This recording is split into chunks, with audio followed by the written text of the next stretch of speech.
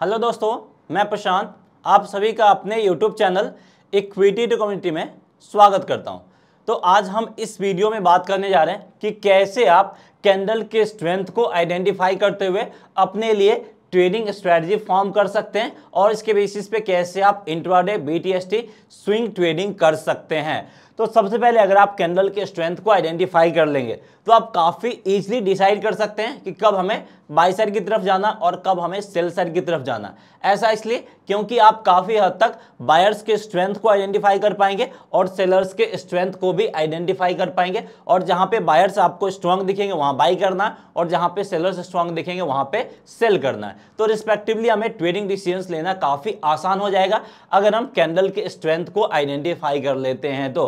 और इसके बेसिस पे आप कोई भी ट्रेडिंग स्ट्रेटजी फॉर्म कर सकते हैं। तो चलिए सीखते हैं कि कैसे हम कैंडल के स्ट्रेंथ को आइडेंटिफाई करते हुए ट्रेडिंग स्ट्रेटजी फॉर्म कर सकते हैं।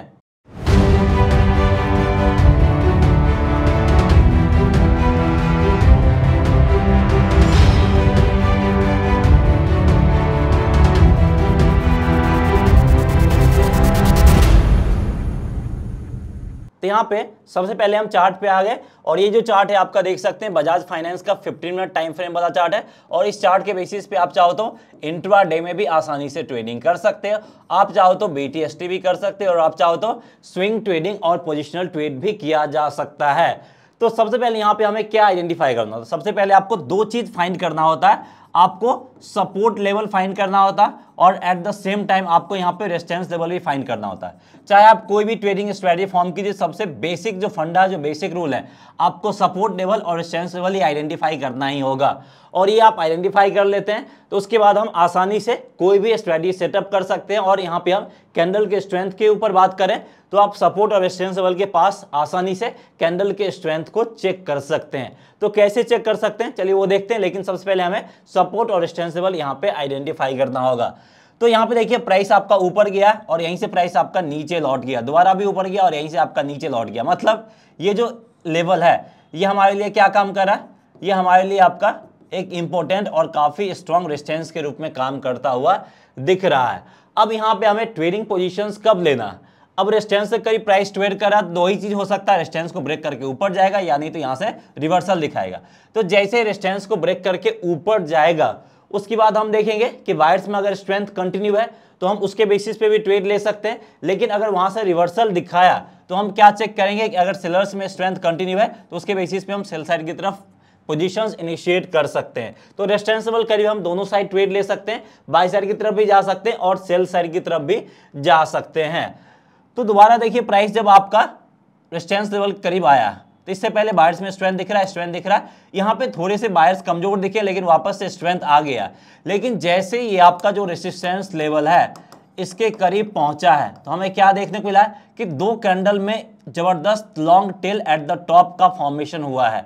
Long tail at the top का मतलब क्या है? Long tail at the top का मतलब है कि यहाँ पे जो बायर्स हैं वो हमें क्या दिख रहे हैं? बायर्स यहाँ पे हमें कमज़ोर दिख रहे हैं। और अगर बायर्स कमज़ोर दिख रहे हैं तो क्या जो रेस्टेंसिबल है वो ब्रेक करेगा या नहीं करेगा? रेस्टेंसिबल को ब्रेक नहीं कर पाएगा क्योंकि बायर्स में हमें स्ट्रेंथ देखने को नहीं मिल रहा है। तो यहाँ पे अगर हमने कैंडल के स्ट्रेंथ को चेक किया है तो उससे हमें क्या पता चला? उससे हमें ये पता चला कि यहाँ पे बायर्स कमज़ोर है। अब जैसे ही बायर्स कमज़ोर हुए तो मार्केट में बायर्स के अलावा एक ही लोग रहते हैं सेलर्स तो हम देखेंगे क्या सेलर्स स्ट्रांग हो रहे हैं। तो यहाँ पे धीरे धीरे आपके सेलर्स भी स्ट्रांग हो रहे हैं और देख सकते हैं आपका वॉल्यूम भी रेड आता जा रहा है। तो यहाँ पे हम इस कैंडल के लो को मार्क करेंगे और जैसे प्राइस इस कैंडल के लो को ब्रेक करके नीचे जाएगा, यहाँ पे हम सेल साइड की तरफ़ एंट्री लेंगे।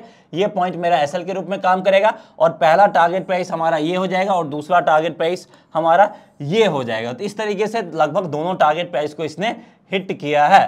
तो इस तरीके से यहाँ पे आप ट्रेडिंग पोजीशंस इनिशिएट कर सकते हैं और यहाँ पे अगर हम सेल साइड की तरफ़ एंट्री की बात करें तो ये हमारा जो एंट्री बनेगा वो 7,718 के करीब बनेगा और हमारा फ़र्स्ट टारगेट प्राइस की अगर हम बात करें तो 7,590 और सेकेंड टारगेट प्राइस की अगर हम बात करें तो 7,530 तो इस तरीके से आप कैंडल के स्ट्रेंथ को चेक करते हुए आसानी से आप ट्रेड इनिशिएट कर सकते हैं।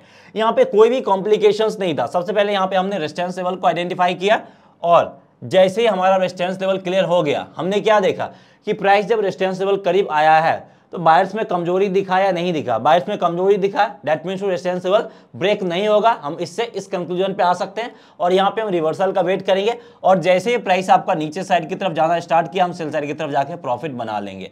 लेकिन अगर प्राइस इसको ब्रेक करके ऊपर भी निकलता, ऊपर आ जाता तो ऊपर में हम देखते हैं कि बायर्स में फर्दर कोई स्ट्रेंथ है या नहीं अगर बायर्स में फर्दर स्ट्रेंथ दिखता तो यहाँ पे हम साइड की तरफ़ पोजीशंस भी इनिशिएट कर सकते हैं।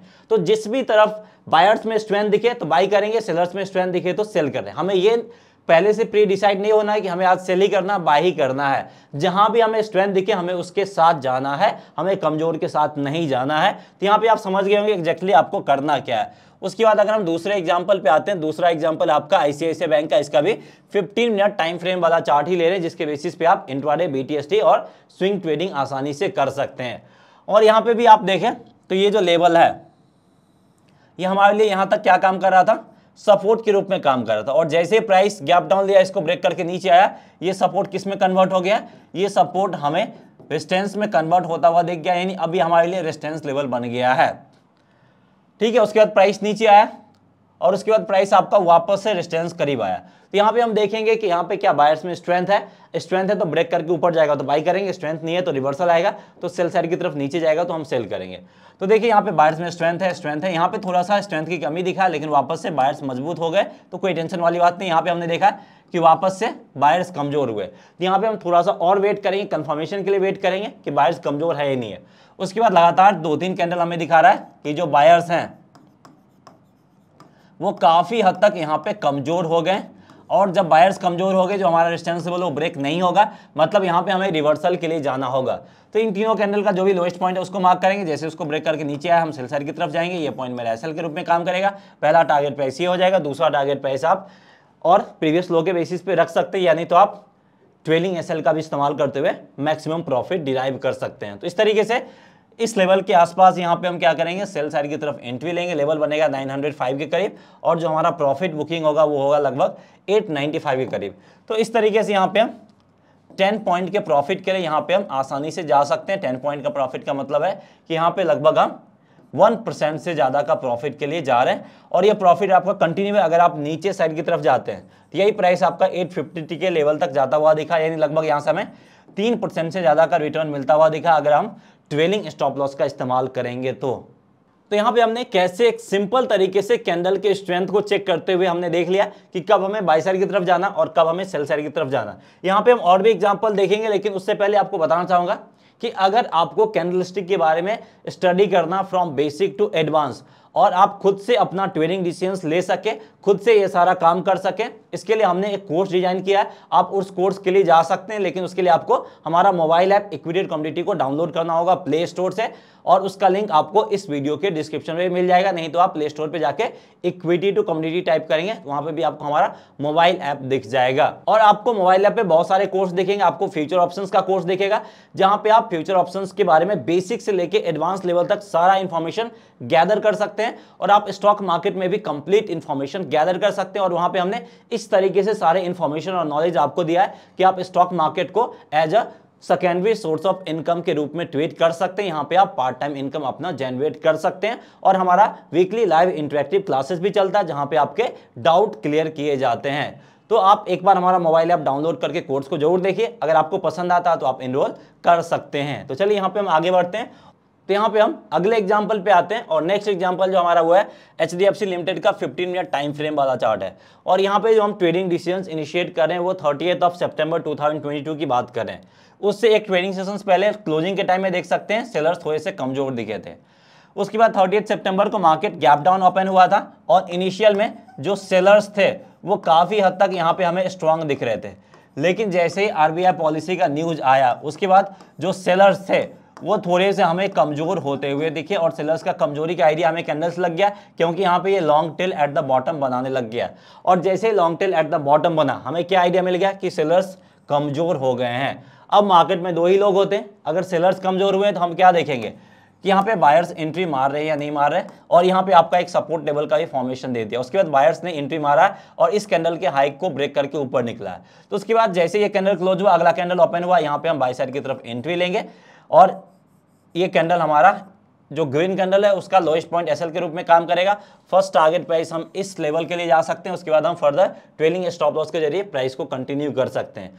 तो इस तरीके से देख सकते हैं, यहाँ पे हम मैक्सिमम प्रॉफिट डिराइव कर सकते हैं, सिर्फ़ कैंडल के स्ट्रेंथ को चेक करते हुए और यहाँ पे जो हम बाइसर की तरफ़ पोजिशन इनिशिएट करेंगे, वो करेंगे हम 2235 के करीब और जो हमारा प्रॉफिट बुकिंग होगा, वो हमारा होगा 2278 के करीब। यानी यहाँ पे मुझे अच्छा खासा प्रॉफिट मिलता हुआ दिख रहा है मोर देन वन परसेंट का भी प्रॉफिट यहाँ से मिलता हुआ दिख रहा। है और इसके बेसिस पे चाहे आप फ्यूचर्स में ट्रेड करो ऑप्शंस में ट्रेड करो, या फिर इंट्रा ट्रेड करो बीटीएसटी ट्रेड करो, वहाँ पे आपको प्रॉफिट मिलता हुआ दिख जाएगा। और यहाँ पे हमने सारा का सारा ट्रेड जो लिया, वो इंट्रा डे में लिया सेम डे हमने इंट्री किया और सेम डे यहाँ पे हमें प्रॉफिट मिलता हुआ दिखा है। तो उम्मीद करते हैं, ये कॉन्सेप्ट आपको समझ में आ गया होगा कि कैसे हम कैंडल के स्ट्रेंथ को चेक करते हुए हम यहाँ पे अपने लिए ट्रेडिंग स्ट्रेटजी फॉर्म कर सकते हैं और हमें इसके ज़रिए आइडिया मिल जाएगा कब हमें बाई साइड की तरफ़ जाना और कब हमें सेल साइड की तरफ़ जाना। उम्मीद करते हैं कि अगर आप इसको फॉलो करेंगे तो इसके बेसिस पे भी आपको आइडिया मिल जाएगा कब बाई करना और कब सेल करना। और काफ़ी हद तक यहाँ पे आप ट्रैप से भी बच सकते हैं, क्योंकि कब हमें क्या नहीं करना है, इसके बारे में भी आपको आइडिया ये देता रहेगा टाइम टू टाइम उम्मीद करते हैं कि ये वीडियो पसंद आया होगा। अगर आपको ये वीडियो पसंद आया प्लीज़ वीडियो को लाइक करके हमें इंकरेज कीजिए। चैनल को सब्सक्राइब नहीं किया तो चैनल को सब्सक्राइब भी कीजिए। साथ ही साथ बेल आइकन दबाना ना भूलें, ताकि जब भी अपना नेक्स्ट वीडियो अपलोड करें, उसका नोटिफिकेशन आपको मिल जाए और आप वीडियो मिस ना करें। सो डेट्स ऑल फ्रेंड्स मिलते हैं नेक्स्ट वीडियो में। जय हिंद।